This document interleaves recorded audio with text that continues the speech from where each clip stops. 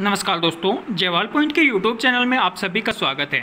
देखिए friends SSC CGL का notification आपका आ चुका है और साथ ही साथ आपका उत्तर प्रदेश के अंदर पैट का एग्ज़ाम भी है। तो उसी एग्ज़ाम को देखते हुए और बाकी S C H S L M T S stenographer SSC की पूरी वैकेंसीज आपके सामने आने वाली है।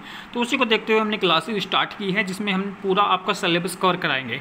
तो हम सबसे पहले आपके लिए जो लेकर के आए हैं, वो स्टैटिक जी की क्लासेज लेकर के आए हैं, जो कि जीके में सबसे ज़्यादा आपका सीजीएल में पूछा जाता है स्टैटिक पार्ट और करंट अफेयर दो चीज़ों पर आप फोकस कर लीजिएगा आपके।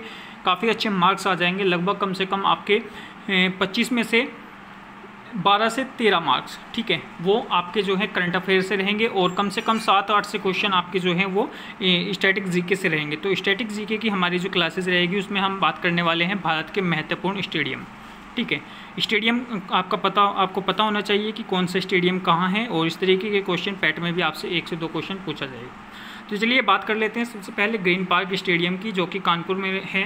और हम इसको बिल्कुल रिवाइज रिविज़न की तरह लेकर के चलेंगे। ज़्यादा टाइम हम आपका नहीं लेंगे छोटी छोटी वीडियोज़ होंगी और उसमें हम कंप्लीट आपको चैप्टर कराते हुए चलेंगे। सबसे पहले ग्रीन पार्क स्टेडियम कानपुर के अंदर, अटल बिहारी वाजपेयी स्टेडियम लखनऊ के अंदर है चिन्ना स्वामी स्टेडियम बेंगलुरु के अंदर है, होलकर स्टेडियम इंदौर के अंदर है, ठीक है। स्वाई सिंह स्टेडियम जयपुर के अंदर है सरदार वल्लभ भाई पटेल अहमदाबाद में है और गुजरात के अंदर अहमदाबाद वहाँ पर जो है देखिए स्टैचू ऑफ़ यूनिटी भी है सरदार वल्लभ भाई पटेल की। तो उससे भी आप याद रख सकते हैं सरदार वल्लभ भाई पटेल जो है वो Ahmedabad, salt lake stadium, Kolkata, ठीक है? Eden garden stadium Kolkata, Wankhede stadium, Mumbai. काफ़ी इंपॉर्टेंट है, वानखेड़े स्टेडियम, कई बार आपका एग्ज़ाम में आ चुका है, वानखेड़े स्टेडियम, मुंबई के अंदर। लाल बहादुर शास्त्री स्टेडियम, हैदराबाद, ठीक है? अरुण जेटली स्टेडियम, नई Delhi.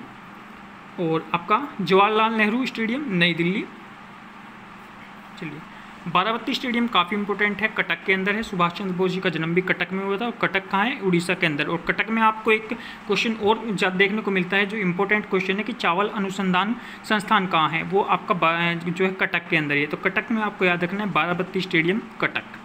Mithilesh stadium, Patna. Dhyanchand stadium देखिए लखनऊ है और ध्यानचंद जो है वो किसके लिए जाने जाते हैं? हॉकी के जादूगर। वो किसको कहा जाता है? ध्यानचंद जी को कहा जाता है ध्यानचंद स्टेडियम। ठीक है, उनतीस अगस्त को जो है राष्ट्रीय खेल दिवस भी मनाया जाता है इन्हीं के उपलक्ष्य में। तो ध्यानचंद स्टेडियम, लखनऊ चिदम्बरम स्टेडियम, चेन्नई, ठीक है Gymkhana stadium, Mumbai Gymkhana stadium, Mumbai, Kanchenjunga stadium, Siliguri, Paschim Bengal. ठीक है, कंचनजंगा स्टेडियम है आपका सिलीगुड़ी, पश्चिम बंगाल के अंदर और doctor Shyama Prasad Mukherjee stadium, Goa. Indira Gandhi stadium, Nai Delhi.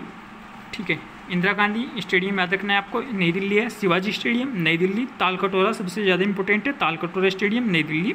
और राजीव गांधी स्टेडियम, हैदराबाद। राजीव गांधी स्टेडियम की हम बात करें तो वो है हैदराबाद के अंदर। तो ये टोटल इंपॉर्टेंट जो थे आपके, वो स्टेडियम थे। इन्हीं से आपसे क्वेश्चन पूछे जाएँगे। अगर आपको इतना, आपने इतने भी याद रख लिए तो आपको किसी ना किसी एग्ज़ाम में देखने को ज़रूर मिलेंगे, अगर आप गवर्नमेंट जॉब की प्रिपरेशन कर रहे हो। काफ़ी अच्छे जो है क्वेश्चन है, और स्टेटिक पार्ट हम पूरा कंप्लीट आपको करा देंगे। अगर चैनल पर नए हैं तो चैनल को बिल्कुल सब्सक्राइब कीजिएगा, क्योंकि एसएससी से रिलेटेड सभी तरह की क्लासेस अब हम इस चैनल पर लगातार स्टार्ट करने वाले हैं। आपको सभी पूरा मटेरियल मिलेगा अच्छी तरीके से, और आज जो है हमारी पहली क्लासेस थी तो थोड़ा सा इस तरीके से हमने आपको पढ़ाना स्टार्ट किया है। इसके अलावा हम बाकी मैथ रीजनिंग सभी को कवर आपके इस चैनल के माध्यम से कराएँगे। तो चैनल पर बने रहिएगा। चैनल को लाइक शेयर सब्सक्राइब ज़रूर कर दीजिए धन्यवाद दोस्तों।